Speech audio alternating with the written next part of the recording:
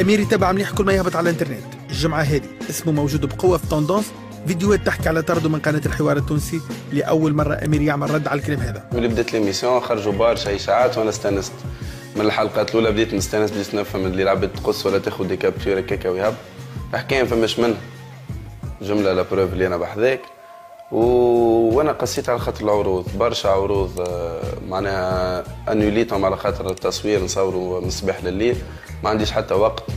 donc آه، مع قروب الصيف توا خيرنا إن نركزوا أكثر على العروض. فيهم برشا جاد وبرشا تحضير خاطر مش نهار العرض معناها كيكة تمشي طول فما تحضير قبل انتو البلاصه اللي تمشي لها عندنا des, des déplacements بعد.